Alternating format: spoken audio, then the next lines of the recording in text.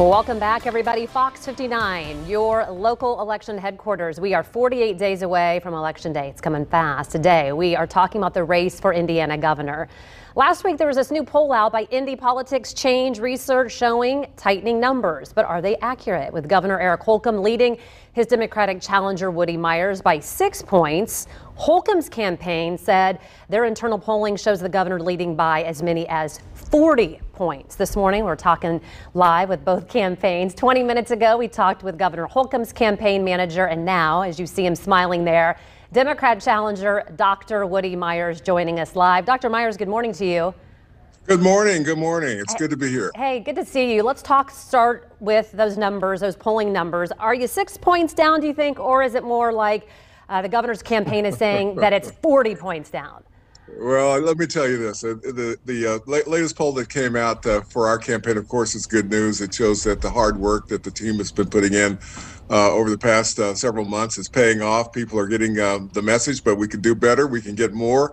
you know, I have no idea what kind of polling my opponent is doing. if it's 40, why not 50 or 60? I mean, if you're making up numbers like that, you can make them up as big as you want.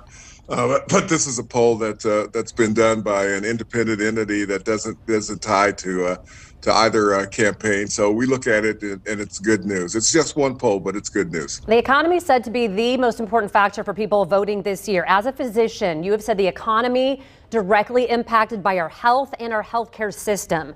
Is that, would you say, the top reason or one of the top reasons you're running for governor? And what specifically would you change? It is one of the top th- uh, reasons uh, that uh, that I'm running. It's one of the top concerns of Hoosiers.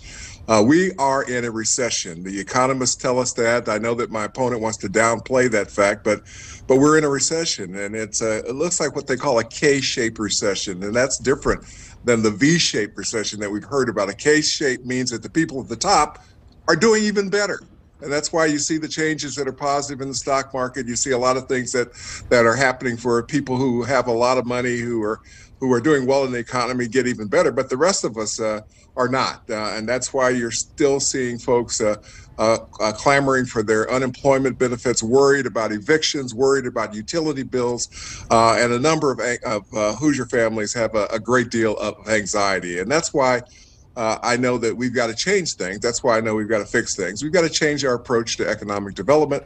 We have to create new, different jobs uh, in Indiana. We have to make sure that our high school students get uh, appropriate training after high school so they're prepared for that new economy. There are just a lot of things that have to change uh, in Indiana. We're below our other states in our ability to achieve after high school to get these new jobs. And I want the companies that are involved in advanced manufacturing to see Indiana as a target opportunity for them. And, and that's why we've got to fix it. You've also criticized the governor's handling of COVID 19, saying that he downplayed deaths in long term health care facilities. That's made major news. As the former yes, state health commissioner, you've also said that you would create a task force to examine the quality of our nursing homes and how Medicaid funds are being used. Um, big time investigations by the Indy Star. Tell me uh, more about that and your feelings.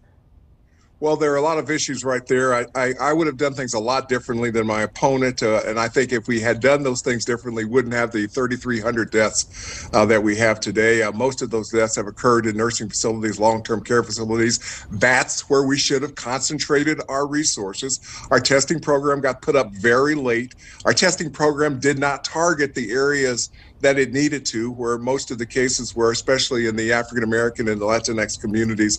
A lot of mistakes uh, have been made. If had they not been made, uh, we would be better off. I, I, think my opponent must have been listening to uh, his former boss uh, in Washington, D.C., and his boss, uh, the president, who clearly have mismanaged this pandemic from the start. And now there, there's evidence of that mismanagement. Of course, they're denying it, but it just tells us that we absolutely have to have a change of leadership, both here in Indiana and nationwide. And with respect to our nursing homes, uh, we need more transparency. We need to understand these relationships between the hospitals and the nursing homes better, and we need to concentrate our energy energy and our efforts on quality and displaying that quality so the public can see it. That means we have to talk about what's going on with COVID. We have to show the public how COVID is being managed. And I look forward to a great working relationship with the leaders of the Indiana Hospital Association, the Indiana Healthcare Association, who are uh, who are uh, the organizations that manage the hospitals and the nursing homes relationships with the state. Because I know if we collaborate, I know if we talk about